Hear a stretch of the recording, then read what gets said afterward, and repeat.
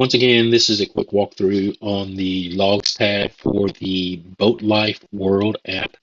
So once you're logged into the application, you go to the left-hand side, you go down to Logs. Once you're in the Logs, you have two different types of logs. You have trip logs and you have fishing logs.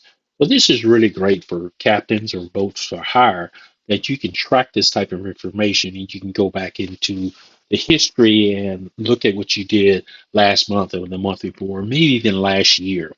So I'm gonna walk you through uh, how to add a log. Once again, if you click on add log, you, you ask it's asking you what type of log you want to add, and it takes you to the beginning screen here of adding a log.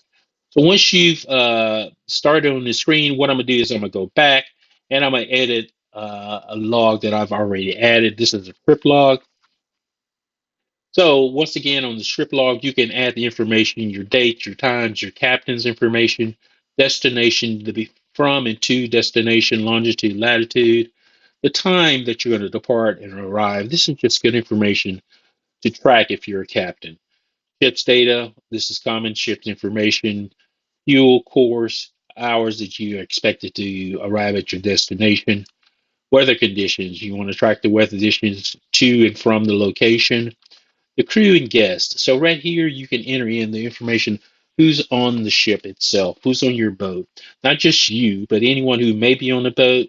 If you're a captain for hire, this will give you a good place to go back and retrieve information for that person, their email address, uh, description, or whatever you want to put in here. You can update images of that person uh, as well. So now we're going to go back and we're going to take a quick look at a fishing log. So that was a trip log. Here's the fishing log. So right here, we're going to edit one. Once again, the uh, generic information about the trip, uh, whatever you want to call the trip, if it's a party, whatever you can call it, whatever you need to do, the location, the dates, the times.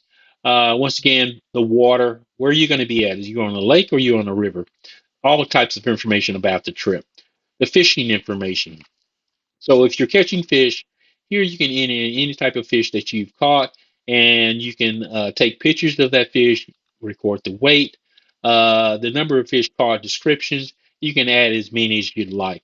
Once again, the crew and guests, this is important information to have. If you're a captain for hire, you want to record this information so you can have it for later on if you want to reach back out to those individuals. Once again, I'm going to click on the back button and it'll take me back to the main menu. And this is a log section, or log tab for Boat Life World app.